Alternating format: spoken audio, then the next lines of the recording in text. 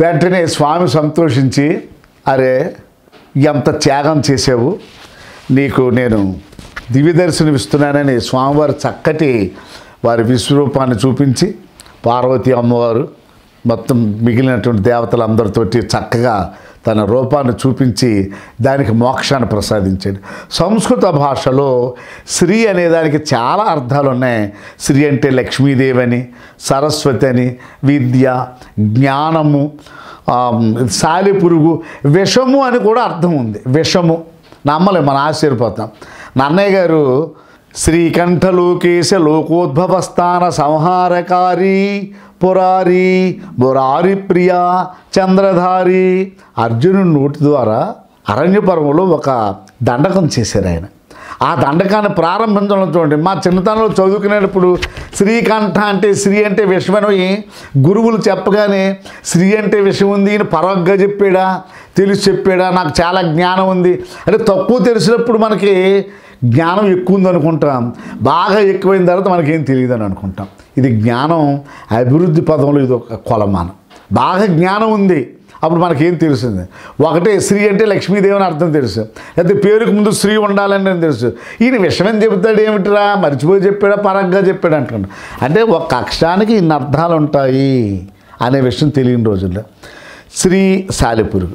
ఇది ఇది అయిన తర్వాత ఇదంతా ఎప్పుడు జరిగింది అంటే త్రేతాయుగము మొత్తం శ్రీకాళహస్తి క్షేత్ర మాహాత్మ్యానికి సంబంధించి ఈ స్వామివారికి ఆ పేరు రావడానికి కృతయుగము ద్వాపరయుగ ఆరంభం. అంటే రెండు యుగాలు వెళ్ళి మూడో యుగం కొంచెం ఒక పాక్షికంగా నాలుగో వంతు.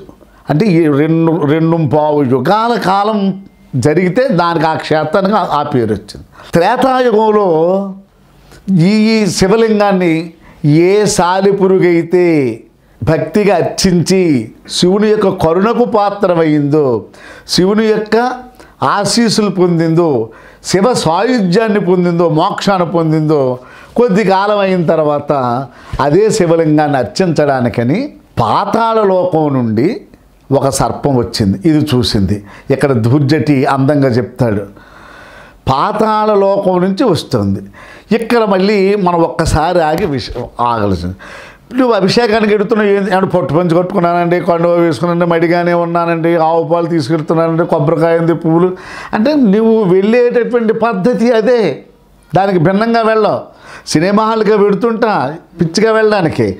అలాగే యథాశక్తి అనేది గమనించాలి. రెండవది ఇద్దరు వ్యక్తుల మధ్య భక్తి భేదాన్ని గమనించాలి. రెండు మతాలు మతం అంటే అభిప్రాయము అని అర్థం. ఒక సంప్రదాయం అని అర్థం. ఒకడు ఓ సంప్రదాయంలో ఓ ప్రకారం చేస్తూ ఉంటాడు. ఒకడు ఇంకో సంప్రదాయంలో ఒక ప్రకారం చేస్తూ ఉంటాడు. ఇది తప్పు నేను చేసేదే ఒప్పు అని అనడానికి వీల్లేదు. దేవుడికి రెండు ఇష్టమే. అది మనకు అర్థం కాదు అది. మన మన అజ్ఞానంతో దేవుడికి పాలు మాత్రమే ఇవ్వాలి అని. దీన్ని అర్థం చేసుకోవడానికి దూర్జటి మహాకవి ఈవేళ ప్రపంచం శాంతిగా మత విభేదాలు విస్మరించి భాయి భాయ్ అని సోదర భావంతో ఉండేటువంటి గొప్ప కథ ఇది. అది ఒక్కతే పూజించింది ఒక్కళ్ళే పూజించినప్పుడు మనకి సమస్యలు రావు. నువ్వు ఎవరైనా మనకంటే ముందు వస్తే అబ్బాయి వీడు అడ్డం వచ్చాడు ఏమిట్రా? దేవుడిని దర్శించుకోకుండా వీడు వెళ్ళిపోతే చాలు అని అనిపిస్తుంది. కానీ అసలు నువ్వు వెళ్ళేటప్పటికి ఎవరూ లేకుండా దేవాలయం నిర్మలంగా ప్రశాంతంగా భక్తిభావ బంధురంగా ఉంటే హాయిగా నమస్కరించుకుని వచ్చేసావు. అది ఆ అదృష్టం ఎవరికి దక్కింది? సాలీడికి దక్కింది. సాలీడు హాయిగా చేసుకుంది ఆరాధన మోక్షం పొందేసింది. ఇప్పుడు రెండవ కథ కాంపిటీషన్తో స్పర్ధతో మొదలవుతుంది. అంటే మనం చేసే పూజకి ఇంకొకటి ఆటంకం కలిగించినా మనకంటే వాడు ముందొచ్చినా మన మనస్సుల్ని వాడు చికాకు పరిచినా నీ మనసు దైవం మీద మాత్రమే ఉండాలి సుమా. వేరే మనసు అన్య విషయాల మీదకి రాకూడదు. ఏకాగ్రత చెడకుండా ఉండాలి. ఆయన కోసమనే దృష్టితో ఉండాలి అని బోధించడం కాళహస్తుల కథ. శ్రీ అది సపరేట్ కథ. కాళహస్తుల కథ. ఇది ఎక్కడి నుంచి వస్తుంది? దూర్జటి మహాకవి చెప్తాడండి చాలా అందంగా. త్రేతాంతంబున ఒక్క కాలపని భక్తిని దివ్య మాణిక్యముల్ పాతాళంబున నుండి తెచ్చి దినమున్ బాలేందు చూడార్చనల్ ప్రాతర్వేళల చేయు మనకి ఎవరిని ప్ర ప్రవేశపెట్టాడు ఇక్కడ? సర్పాన్ని ప్రవేశపెట్టాడు. మనకి సర్పం కనిపిస్తుంది. శ్రీ అనే పేరు ఇంకా ఏర్పడలేదు. శ్రీకి శ్రీని అనుగ్రహించాడు ఆయన. ఇప్పుడు కాలాన్ని హస్తిని అనుగ్రహించి ఆయన శ్రీకాళహస్తీశ్వరుడు కాబోతున్నాడు. ఇది త్రేతాయుగ అంతములో. త్రేతాంతంబున కృతయుగంలో సాలీడ్ చేసేసింది. పూజ ఒక యుగం అయిపోయింది. త్రేతాయుగం చిట్ట చివరిలో అంటే ఇంచుమించు నాలుగో పాదం అనుకోండి. నాలుగవ పాదంలో సర్పము ఏం చేసింది? ఈ స్వామిని అర్చించడానికి వస్తుంది. ఎలా వస్తుంది? సర్పానికి ఏది వీలు? పళ్ళు తీసుకురాగలదా?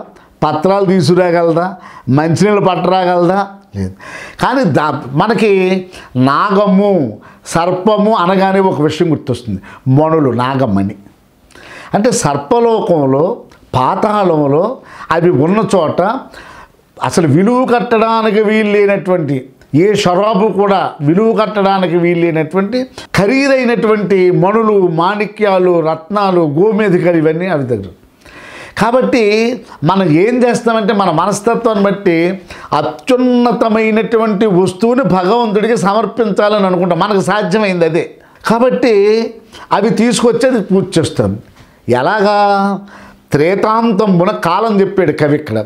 ఒక్క కాలపని ఒక సర్పము భక్తిన్ ఇది గమనించాలి. రోజు నేను అభిషేకం చేస్తున్నాను భక్తి లోపించింది దాంట్లో. రోజు నేను పూజ చేస్తున్నాను భక్తి లోపించింది. నేను రోజు కొంతమందికి అన్నం పెడుతున్నాను భక్తి లోపించింది. భక్తిగా అన్నం పెడుతున్నాను భక్తిగా పూజ చేస్తున్నాను భక్తిగా అభిషేకం చేస్తున్నాను భక్తిగా ఉపవాసం చేస్తున్నాను. భక్తి ఉండాలి. భక్తి అంటే శ్రద్ధ మనసుకు సంబంధించి. ఈ వీడియో కనుక మీకు నచ్చినట్టయితే లైక్ చేయండి షేర్ చేయండి సబ్స్క్రైబ్ చేయండి.